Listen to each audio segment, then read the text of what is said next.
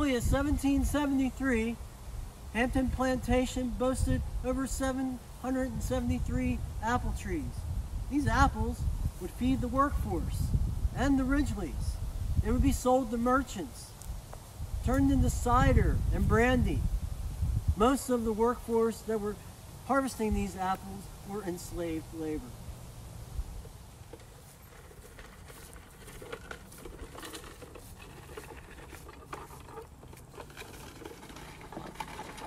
With such a large amount of apples, there was a need for storage, and those not packed carefully away in sawdust or hay were dried for a long-lasting effect, or made into apple butter, apple sauce, apple pies, apple dowdies, apple dumplings, apple fritters, and of course, and perhaps most importantly, cider.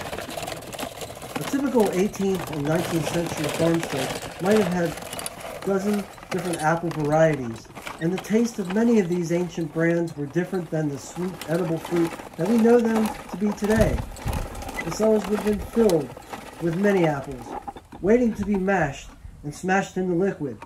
The intense smell of the cider permeated the dirt cellars of farmsteads throughout this country. Each variety had a different characteristic, flavor, and were ultimately used in different ways, either for sale or for the family's own use.